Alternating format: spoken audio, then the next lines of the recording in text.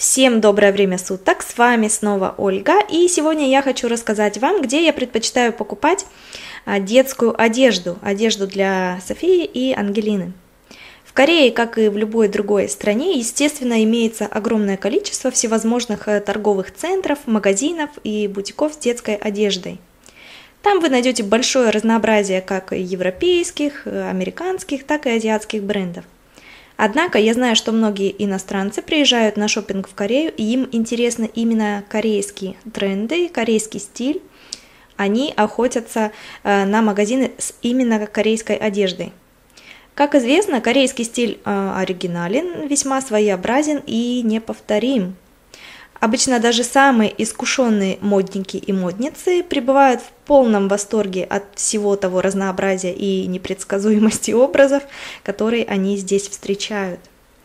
Если описать корейский стиль э, в двух словах, это самые современные, интересные и иногда даже безумные какие-то тренды, адаптированные в обычную жизнь современного мегаполиса – Корейская одежда может быть утрирована женственной, деловой, брутальной, классической, какой угодно, но она всегда будет комфортной. Любую корейскую одежду вы сможете надеть с кроссовками или кедами.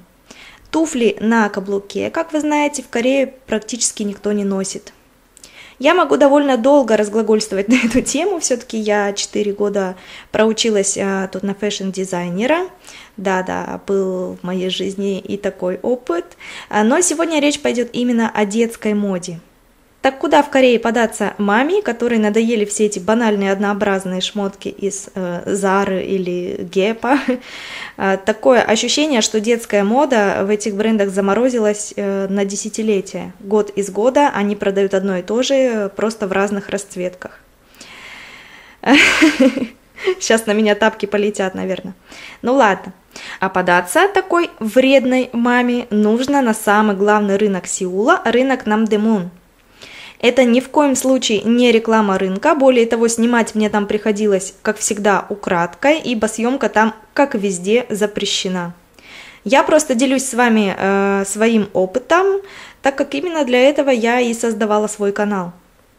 А на этом рынке имеется несколько павильонов с детской одеждой. А, кстати, взрослой модной одежды на этом рынке искать не стоит, сразу предупреждаю. За взрослой одеждой лучше ехать на Тон де Мун – но об этом в других э, видео. Э, так вот, здесь в этих павильонах представлено разнообразие разных стилей, от прованса до какого-то рок и панк. Но самый излюбленный корейцами стиль детской одежды – это, конечно же, кукольный стиль. Э, всевозможные рюши, кружева, валаны. Повышенное внимание уделяется, конечно же, деталям.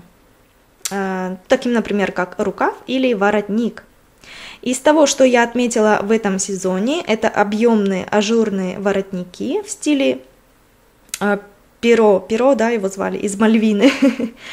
И низ, э, будь то юбка или брюки, на завышенной талии, оформленной в виде такой широкой, э, крупной такой резинки. Выглядит с ног сшибательно. Также я всегда любила стиль Прованс. В этом сезоне он представлен длинными юбками и объемными сарафанами. Ну, а также спортивный стиль и Корея э, вообще это как бы единое целое, поэтому спортивной одежды также на любой вкус вы здесь найдете. Хочу отметить, что на этом рынке также закупаются местные и иностранные оптовики, имеющие свои интернет-магазины, а, бутики или отделы в торговых центрах. Так как цены здесь ниже, хотя и дешевой эту одежду назвать нельзя – а цены примерно такие же, как на средние европейские бренды в магазинах, таких как Zara, например, да? Но в бутиках потом эти вещи продаются уже по ценам элитных европейских брендов. Но не стоит отчаиваться. На рынке постоянно проходят распродажи, и можно очень недорого урвать вещи, если, например, остались не все размеры или заканчивается сезон – Например, в апреле уже скидки на весеннюю одежду по 70-80%, так как на подходе а, уже летняя коллекция. Так что если вам по душе корейский стиль, приезжайте, только не забудьте чемодан брать повместительнее.